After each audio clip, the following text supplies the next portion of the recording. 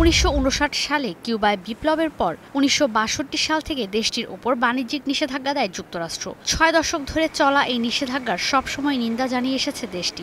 সম্প্রতি জাতিসংঘের সাধারণ পরিষদে এই নিষেধাজ্ঞা তুলে নিতে ভোটাভুটি অনুষ্ঠিত হয়। ইসরায়েল আর যুক্তরাষ্ট্র ছাড়া কিউবার পক্ষে ভোট দেয় অংশগ্রহণকারী সব দেশ। এরপরও নিষেধাজ্ঞা তুলে নেয়নি যুক্তরাষ্ট্র।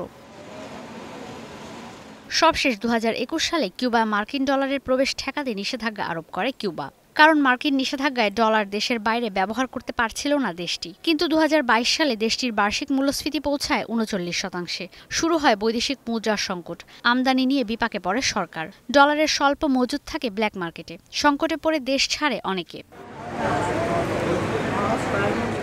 এরপর আবারও স্থানীয় ব্যাংক আর আর্থিক প্রতিষ্ঠানগুলোতে ডলার মজুতের অনুমতি দেয় দেশটির কেন্দ্রীয় bank, central bank of Cuba.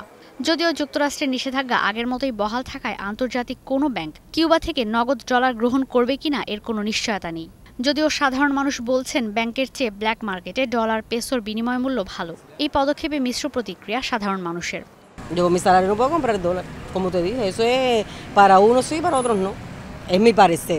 No sé, a lo mejor me equivoco, a lo mejor la gente aplaude.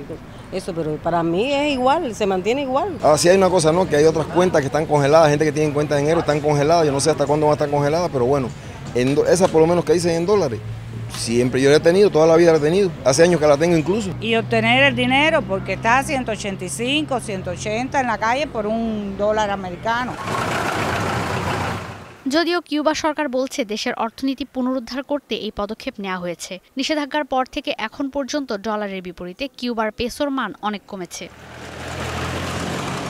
অর্থনৈতিক সংকটের কারণে দু হাজার বাইশ সালে রেকর্ড সংখ্যক কিউবার নাগরিক যুক্তরাষ্ট্র, মেক্সিকো সীমান্ত দিয়ে যুক্তরাষ্ট্রে প্রবেশ করেছে। ওষুধ, জ্বালানি, খাদ্য সংকট আর মূল্যস্ফীতি দেশটিতে এখন চরমে। ঈশিতা ব্রহ্ম, এখন বিশ্ব।